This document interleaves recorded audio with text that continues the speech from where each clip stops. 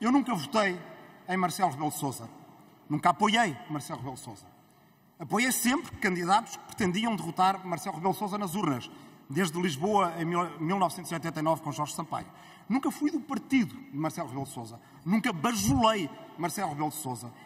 E, no entanto, estamos aqui hoje porque alguém que corresponde a todas essas condições que eu enumerei antes decidiu, de repente, que Marcelo Rebelo de Sousa, presidente, símbolo da unidade nacional de todos os portugueses, primeira figura do Estado, é um traidor à pátria.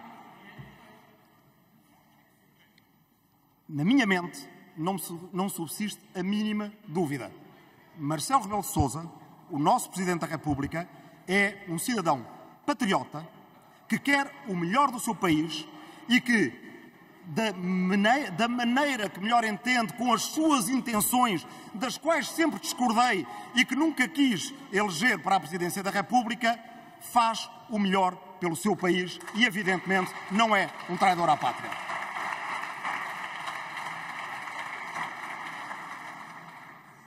Marcelo Rebelo de Sousa nunca quis entregar as selvagens às Canárias, ou uma assoteia do Algarve a Marrocos, ou uh, algum terreno do Minho à Galiza. Também nunca foi a Espanha uh, festejar, celebrar o líder de um partido em cujo mapa não aparecia Portugal. Como o proponente. Como o proponente.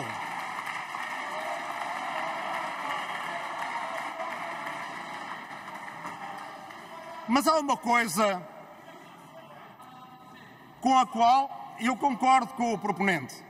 É que existe o crime tipificado de traição à pátria, que é uma coisa, e que aparentemente é o que queriam discutir aqui, mas manifestamente ninguém concorda, muito menos dois terços da Assembleia, e há a valoração política que podemos ter daquilo que é desleal à pátria, daquilo que por atos quer o pior para a pátria.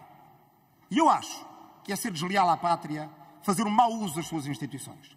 Eu acho que é ser desleal à pátria abusar do poder que, se, eh, que, é conferido a alguém, utilizando para processos espúrios e que não têm nenhum sentido. Eu acho que é ser desleal à pátria procurar permanentemente a divisão entre portugueses. Eu acho que é desleal à pátria procurar pôr portugueses não ciganos contra portugueses ciganos. Eu acho que é desleal à pátria estar o tempo todo a fazerem inuendos racistas sobre outros povos. Eu acho que é desleal à pátria, particularmente a esta pátria e a esta língua, procurar envenenar as relações entre Portugal e os outros países de língua portuguesa. Eu acho que é desleal à pátria e foi desleal à pátria insultar e injuriar um presidente do Brasil aqui nesta Câmara.